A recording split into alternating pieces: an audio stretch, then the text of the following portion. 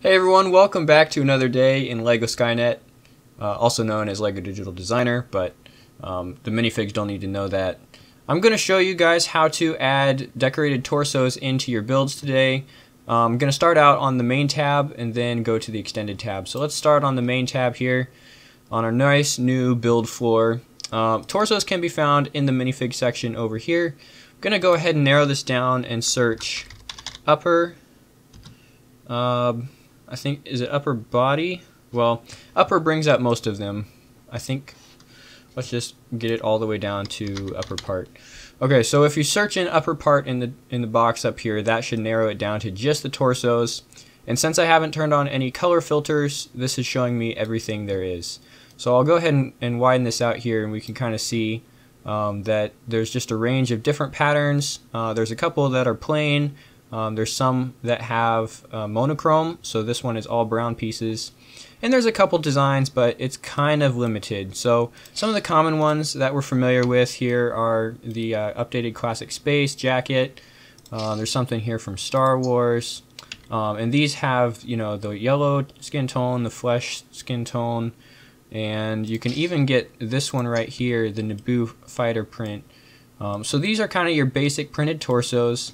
And if you go to the paint tool and uh, click on the torso, it'll pull everything up here in the build platform as well. So if you have something already in the model and you don't want to go back and change it, you can change it pretty quickly with the paint tool.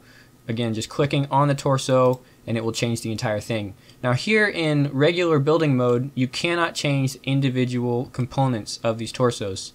Um, notice that whenever I click on one to open it, and select a new torso, it changes the entire thing. So there's not a lot of room for um, changing and customizing in here, but there are a couple of options to kind of get you started if you're just looking to add torsos into a build in the regular version of Digital Designer. So yeah, there's at least some functionality here. I think there's a total of, if I open this up till we have rows of 10, we can kind of do a quick count here. Uh, so there's 10, 20, 30, 40, 50, 60, 70, 80, 90, uh, almost 100 torsos to choose from here. Uh, almost exactly 100 actually. So, you know, a decent selection, a couple of different colors, but not a lot of room for customization. Let's go back to the home page. I'm going to switch over here to Digital Designer Extended. Um, I think all of this is current as of 4.3.11. Um, so if you're not as familiar with Digital Designer, maybe go back and look at some other tutorials first. But um, if you don't have this tab, you should probably go to the website um, that LEGO still hosts. Now you can't connect to the internet with Digital Designer anymore. It's just an on-platform builder, but uh, you can still and go download the latest version and get this extended mode for Digital Designer. Let's start another free build here. All right, this time I've got upper part still searched in here. I need to remove my color filter. Can I do that? No, I already turned on my color filter. Alright, whatever. I'll pull this torso into the screen. Let's zoom in here and see what we got. So, um, searching upper part, filtered by black pieces only, pulls in a regular torso. Now, Notice here in extended mode, we have some options to work with individual pieces of the torso. You can't pull stuff apart. If I delete some, if like I'm trying to delete this hand, it deletes the entire torso. So you can't, um, you can't actually remove the individual components. But now when I come up here and start using Paint Tool, there are way more options for kind of um, customizing this minifig. So I can go down and paint the individual um, sub parts of the minifig torso.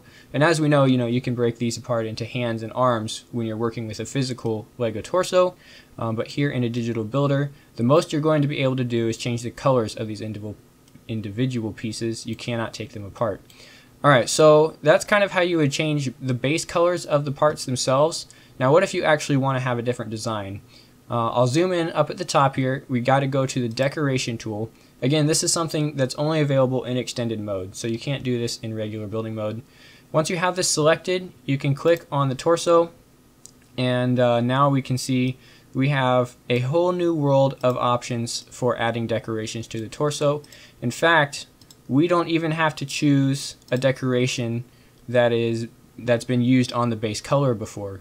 Um, so you can kind of get these combinations that wouldn't otherwise exist. So the red um, male jacket has only been used on red torsos before, but here in Digital Designer you can just kind of add it as a print on any color torso.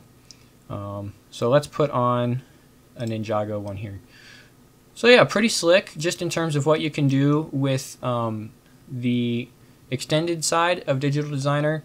Um, and again, once you have kind of a torso in the build floor here, you can copy it um, and you can paint it. So to change the color, you're going to want to go to the color wheel and then you can start painting stuff.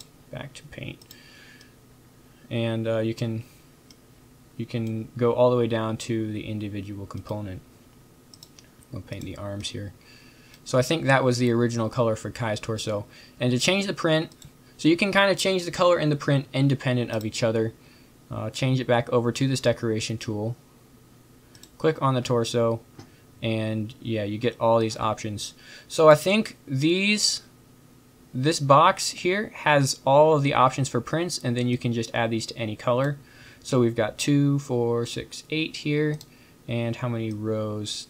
Two, four, six almost eight full rows. So 66 different printed options, or 65 rather, and a plain. So there's 65 total prints you can do. Um, I'm assuming that you can add these prints onto any color on the palette right here. So if we print, paint this transparent, and now add a decoration. Yeah, so that will just that will just allow you to put any of those 65 prints on any of these colors. I forget exactly how many colors there are, um, but that's a pretty big number of combinations. So, you know, for every color here, you could put on those 65 decorations, multiply that all the way through here, and you get the total number of combinations you can make in extended mode of Digital Designer. Way more than 100, as we saw in the regular building mode. So that's kind of how you would go about putting um, these decorations and different minifig components into place. Nothing compared to I think what you can download like this is this is just a base level program. I haven't downloaded any add-ins from another website. Um, I think Studio actually comes with a lot of printed minifigs preloaded.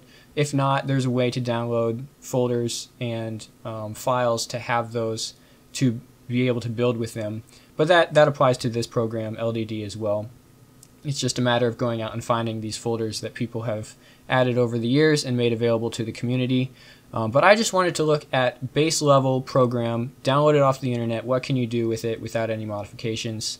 Um, and as of early 2021, uh, or whenever they last updated the LDD, which would be 4.3.11, I believe, is what I'm working with.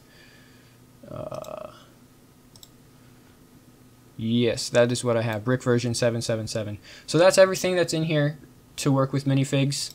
Uh, of course, lots of other things you can do with this program, but that's all I wanted to cover today. Thanks for watching, guys, and we'll see you next time on Brick System Brothers.